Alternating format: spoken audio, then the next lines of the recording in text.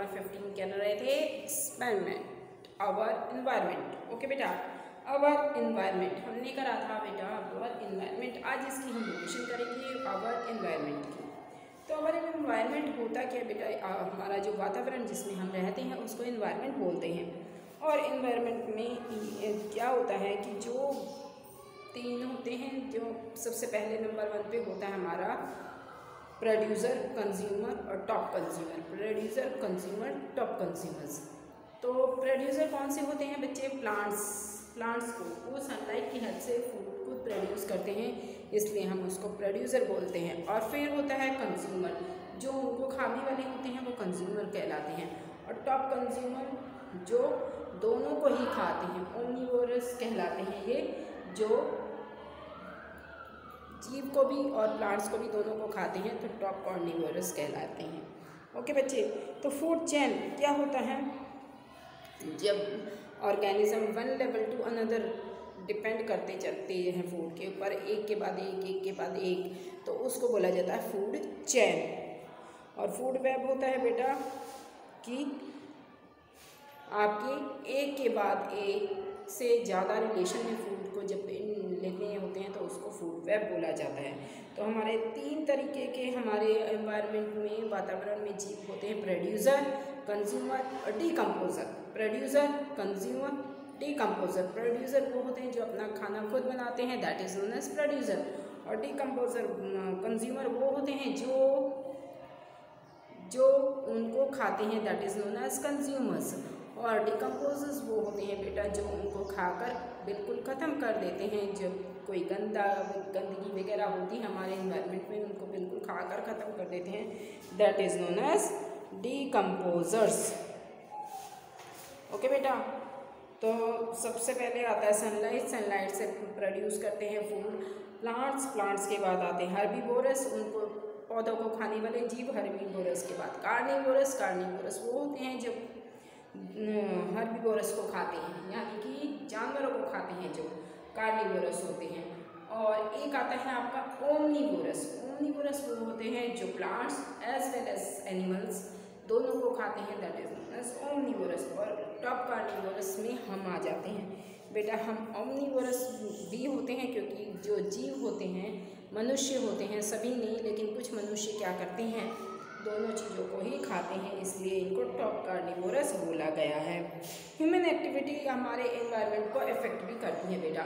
Human activity हमारे environment को बहुत ज़्यादा इफ़ेक्ट करती है। हम जैसे फैक्ट्रीज़ का बनना हो गया या फिर प्लांट्स का काटना तो हमारे इन्वायरमेंट को बहुत ज़्यादा ये इफ़ेक्ट करते हैं। पॉल्यूशंस फैलता है इससे। ठीक है बेटा? इसके द्वारा क्या होता है? पॉल्यूशंस बहुत ज़्यादा होता है। जब प्लांट्स कटेंगे तो प्लांट्स क्या करते हैं? मनुष्य जो सांस लेकर जब एयर छोड़ते हैं तो उस एयर को कहते हैं कार्बन डाइऑक्साइड और कार्बन डाइऑक्साइड की अगर क्वांटिटी इन्वायरमेंट में ज़्यादा हो जाएगी तो पोल्यूशन बहुत ज़्यादा होता चला जाएगा, ठीक है? इसी तरीके से जब फैक्ट्रीज लगती हैं तो नाइट्रोजन सल्फ़र ये गैसें निकलती हैं इसमें से तो ये गैसें इन्वायरमेंट को पॉल्यूट करती हैं बेटा. तो इन गैसों को प्लांट्स अगर होंगे तो ये गैस अपने आप एक्यूमुलेट हो जाती हैं, ओके? लेकिन प्लांट्स नहीं होंगे तो सब इन्वायरमेंट डिस्टर्ब होता चला जाता है। लेकिन आजकल जनसंख्या जैसे ज़्यादा ज़्यादा बढ़ती जा रही है तो प्लांट्स काटे जा रहे हैं और क्या कर रखा है? लैंड पे बिल्डिंग्स वगैरह बनाए जाते हैं जिससे प्लांट्स कम होते जा रहे हैं, ठीक है? और वो इन्वायरमेंट को ज़्यादा इफ़ेक्ट करते हैं। ओजोन लेयर होती है बेटा, जो हमारे इन्वायरमेंट के ऊपर एक लेयर होती है, जो हमारी हमें बचाती है सनलाइट डायरेक्ट सनलाइट से उसको ओजोन बोला जाता है। जो सन है, उससे जो आती है रेज डायरेक्ट वो हमें बहुत ज़्यादा इफ़ेक्ट करती हैं बेटा। लेकिन एक लेयर जो एटमोसफेयर के ऊपर होती है, उससे वो टकरा कर वापस चली जाती हैं। तो उस लेयर का नाम होता है ओजोन लेयर और ये ओजोन लेयर हमारी बहुत हेल्प करते हैं सनलाइट को डायरेक्टली आने से। जो क्लोरोफ्लोरोकार्बन गैसेस हैं सनलाइट से आती हैं, उनको, उनसे हमें बचाती हैं। लेकिन इसमें डिप्रेशन होता जा रहा है, ख़राब होती जा रही है, वो ख़राब होने का कारण यही है कि आजकल जैसे जैसे टेक्नोलॉजी इंक्रीज़ करती जा रही हैं तो हमारी ओजोन लेयर को इफ़ेक्ट होता जा रहा है डिप्रेशन होती जा रही है। अब आगे आगे जैसे गर्मी बहुत ज़्यादा बढ़ती है, वो गर्मी बढ़ने का रीज़न भी ये है कि डिप्रेशन ऑफ़ ओजोन लेयर हो चुका है, इसलिए गर्मी बहुत ज़्यादा बढ़ती चली जा रही है। ठीक है बेटा तो इस इन्वायरमेंट चैप्टर में मेन पॉइंट्स यही हैं। आप इनको अच्छे से लर्न कर लें, अच्छे से देखें। What is ozone how does it affects any ecosystem ozone क्या है? Ozone is the layer outer layer of the surface ठीक है? ये ओजोन लेयर है and it can help us to chlorofluorocarbon gases okay और ये chlorofluorocarbon gases directly sun से हमारी हेल्प करती हैं। How can you help in reducing the problems of waste disposal and give any two methods कोई दो method से आप बताएँ कि किस तरीके से आप वेस्ट डिस्पोजल को रिड्यूस कर सकते हैं, कम कर सकते हैं। एक रिसाइकल करके रीजनरेट करके आप इनको क्या कर सकते हैं रिड्यूस कर सकते हैं। ठीक है बेटा? अच्छा एक्सरसाइज में कुछ तीन क्वेश्चंस हैं जो आपके क्या हैं? Which of the following groups contains only biodegradable items किसमें केवल बायोडिग्रेबल आइटम्स है? फ़र्स्ट है ग्रास फ्लावर लेदर लेदर क्या है आपका? Grass wood plastic fruit peel cake lime juice cake wood grass लेकिन बायोडिग्रेबल आपका फ़र्स्ट है, ग्रास, फ्लावर्स और लेदर बायोडिग्रेबल है। ओके बेटा? Which of the following constitute fruit chain इसमें से कौन सी फ्रूट चेन कॉन्स्टिट्यूट करती हैं? ग्रास वीट मैंगो नहीं। Grass goat human B goat cow elephant नहीं। ग्रास नहीं बेटा, ये आपका डिपेंड ये है, इसका सही है। grass goat human. Grass goat human. Which of the following environmental friendly practices?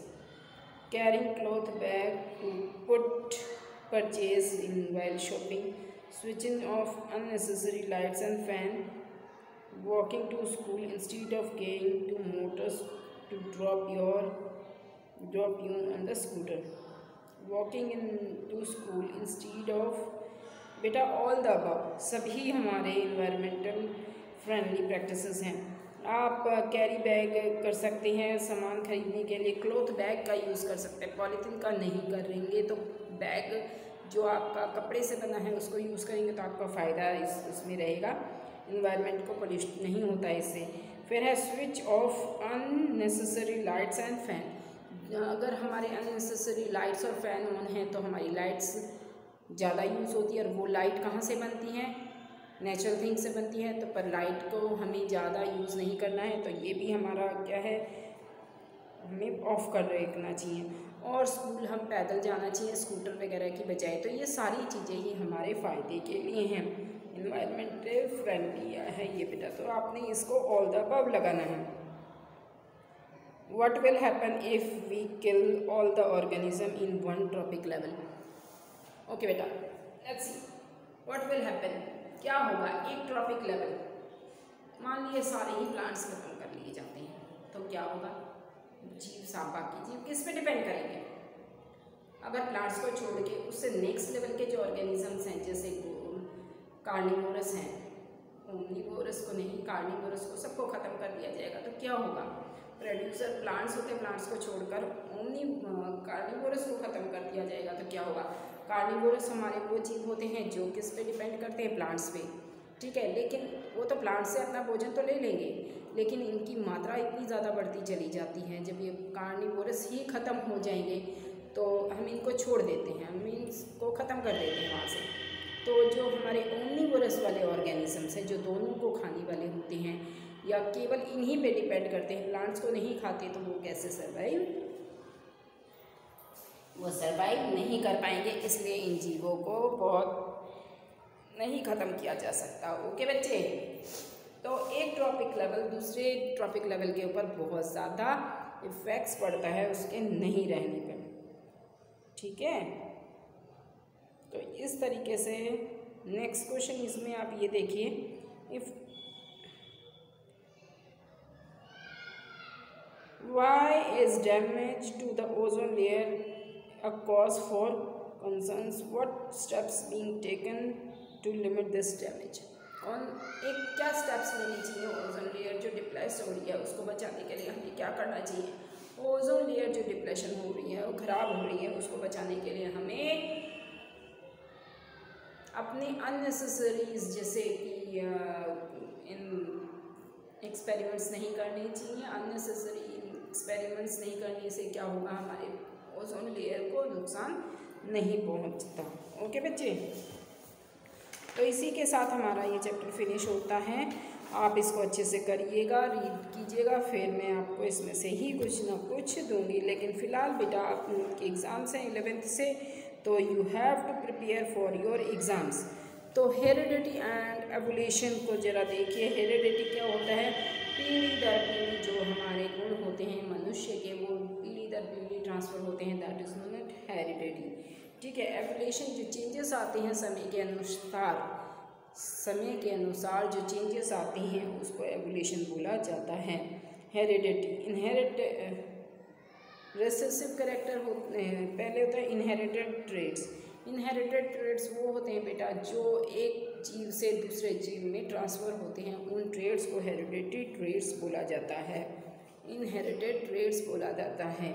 Heredity trades हमें इंसान, हर इंसान को, हर जीव को अपने पेरेंट्स से मिलते हैं। अपने पेरेंट्स से जो करेक्टर उन्हें मिलते हैं, उनको बोला जाता है इनहेरिटेड ट्रेड्स आपने देखा होगा किसी बच्चे के कान छोटे हैं, किसी के बड़े हैं तो उनके माता पिता में से, दोनों में से किसी के जो, किसी के बड़े होंगे, मम्मी के या पापा के छोटे होंगे तो उनके जो करेक्टर देखने में मिलेंगे, बच्चे में देखने को ज़रूर मिलेंगे। कलर में भी जो है कॉम्प्लेक्शन जो आता है, कलर कॉम्प्लेक्शन वो पेरेंट्स के ऊपर डिपेंड करता है।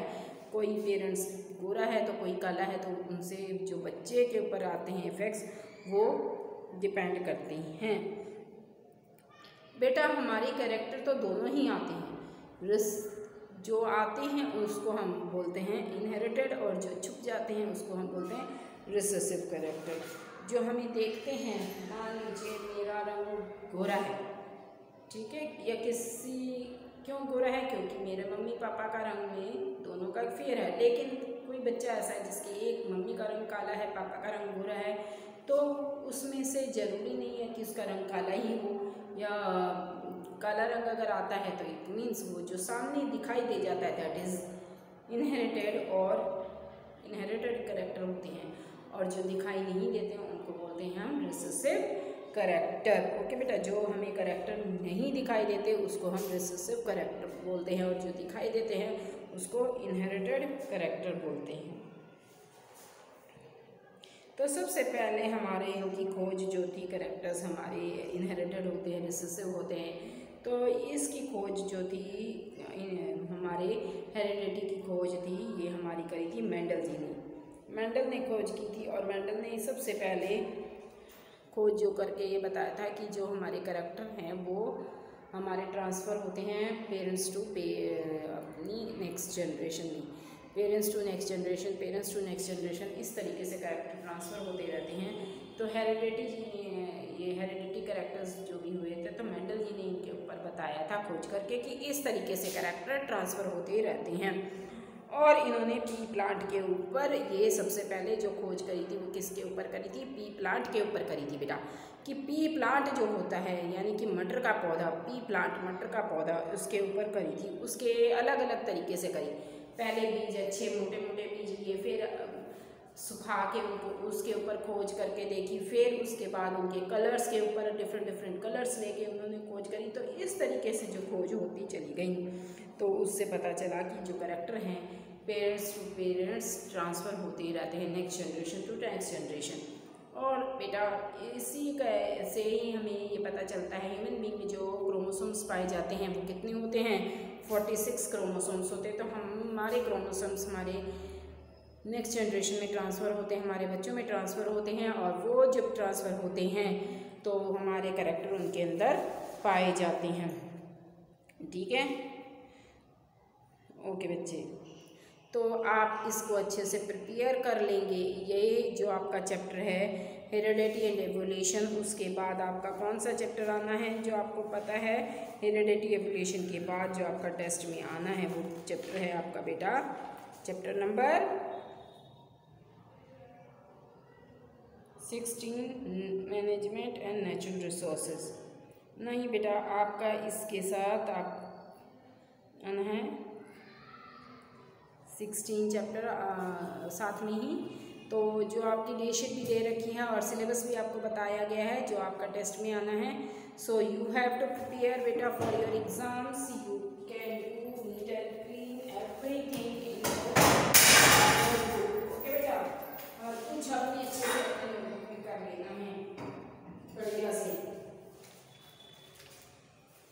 आपके जो टेस्ट में आने वाला लेसन है, मैं आपको फिर से एक बार एक्सप्लेन कर देती हूँ। टेंथ क्लास जो आपके आएँगे आपका